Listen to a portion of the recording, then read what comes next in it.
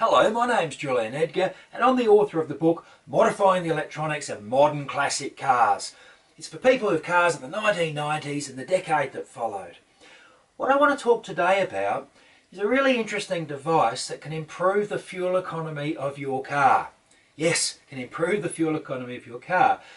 It, it does so by advising the driver when he or she is driving in a way that is not best for fuel efficiency.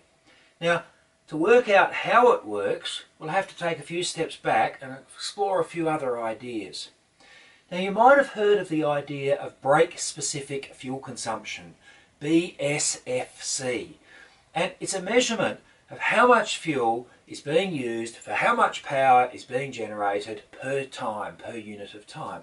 So often it's expressed as pounds per horsepower per hour. And you'll sometimes see on engine performance curves a brake specific fuel consumption curve. Now, what people don't realise is that curve, those measurements are taken at full throttle. And the reason that's important is because you're actually seldom driving everywhere at full throttle. At part throttle, brake specific fuel consumption gets worse. Why? because the pumping losses are great. You're trying to drag air past the nearly closed throttle. So, to get best brake specific fuel consumption, it's best if the throttle blade is open a further distance rather than a lesser distance. Now, if you go full throttle, in many cars, more fuel gets added. The, the, the air-fuel ratio gets richer.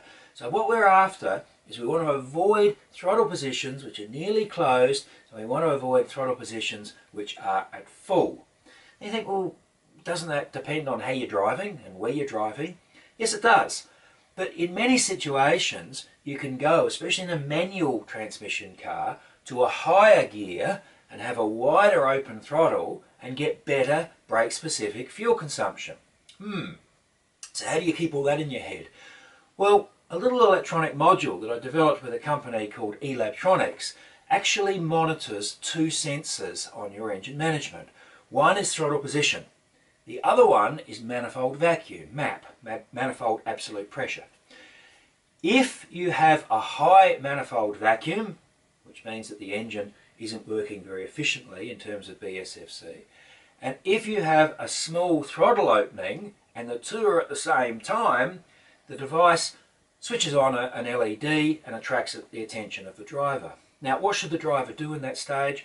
Either back fully off the throttle, which turns off the injectors, or select a higher gear and use a wider throttle opening. Now it all starting to get pretty complicated, isn't it?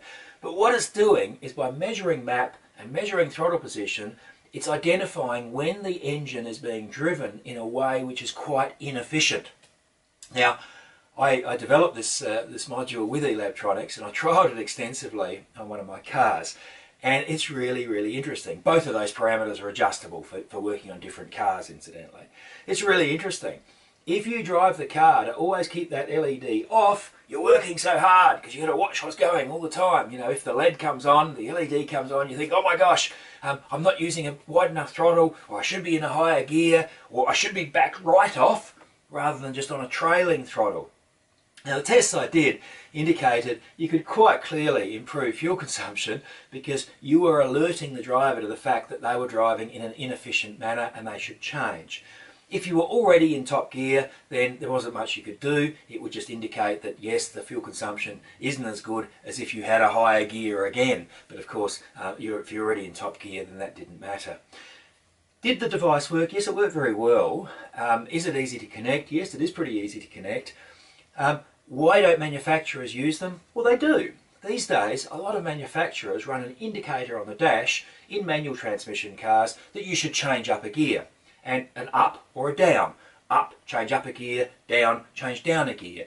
And they're mapped in a more sophisticated way than just watching uh, manifold pressure and watching throttle position, but they're achieving the same sort of outcome, guiding the driver to drive in a more fuel efficient way. If you've got a digital dash and a programmable digital dash, it's pretty easy also to do that in the software. uh, I fitted a, a Motec digital dash to one of my cars and I actually programmed a, an indicator that said change up gear or change down gear and I was looking at a number of things simultaneously to activate that warning. That included instantaneous fuel consumption, included manifold pressure, included what gear I was in and so on. So the device was called FuelSmart. It's actually still available if you're interested, um, but I think what's even more interesting than the device itself is the logic behind it actually identifying when the engine is being driven in a fuel inefficient manner and then alerting the driver at that point that they should change in their behaviour. It's in the book. The book is Modifying the Electronics of Modern Classic Cars and it's one of the little projects that I cover uh, over a few pages in that book. It's all pretty interesting stuff and I recommend the book to you. Thank you.